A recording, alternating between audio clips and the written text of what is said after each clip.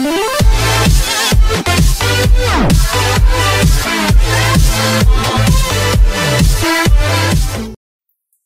định trực tiếp bóng đá Liverpool với Dortmund 7 giờ ngày 20 tháng 7 trong khuôn khổ giao hữu câu lạc bộ, cập nhật đội hình ra sân.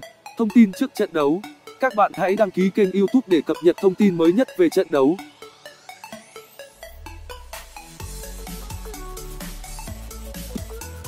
Với sự dẫn dắt và tầm nhìn của Jurgen Klopp Liverpool lúc này có thể coi là một trong những đội bóng mạnh nhất châu Âu. Huấn luyện viên người Đức đã xây dựng lại The Cup sau đống đổ nát sau khi Suarez chia tay sân Anfield. Chức vô địch UEFA Champions League mùa giải vừa qua là thành quả xứng đáng cho lữ đoàn đỏ. Dưới cương vị là nhà vô địch châu Âu, Liverpool đã có hai trận giao hữu thành công hè này. Đối thủ của họ đều là những đội bóng dưới cơ nhưng rõ ràng sự ổn định vẫn được duy trì tuyệt đối. Đáng nói hơn hai chiến thắng cách biệt với tỷ số 6-0 và 3-1 vừa qua in đậm dấu giày của các cầu thủ trẻ trưởng thành từ lò đào tạo. Điều này chứng tỏ Liverpool đang xây dựng một đế chế vững mạnh.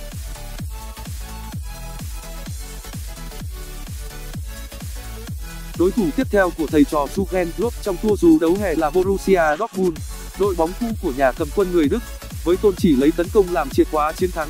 Á quân Bundesliga là bài test thật sự cho những cầu thủ trẻ của Liverpool trận đấu trên đất Mỹ tới đây hứa hẹn sẽ thực sự hấp dẫn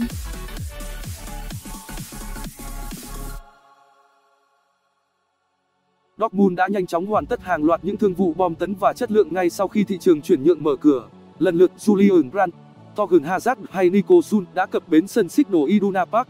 Bên cạnh đó, họ còn quyết định mua Đức Paco Alcacer từ Barcelona sau một mùa giải mà tiền đạo người Tây Ban Nha lĩnh sướng quá tốt hàng công. Tham vọng vùng Ru là rất rõ ràng, đó là quyết tâm lật đổ sự thống trị của Bayern Munich, điều mà suýt chút nữa họ đã làm được ở mùa giải vừa qua.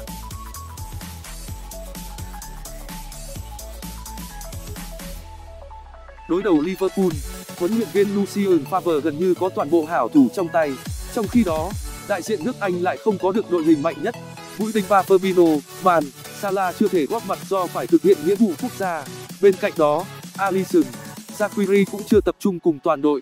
Có thể nói, Dortmund đang chiếm ưu thế về lực lượng. Hè năm ngoái, Liverpool và Dortmund cũng chạm mặt nhau trong tour du đấu. Đội bóng nước Đức khi đó trở thành đối thủ duy nhất đánh bại được thầy trò huấn luyện viên Jurgen Klopp trong chuỗi trận giao hữu. Năm nay, kịch bản tương tự rất có thể sẽ xảy ra bởi những quân bài mạnh nhất của The Cop vẫn vắng mặt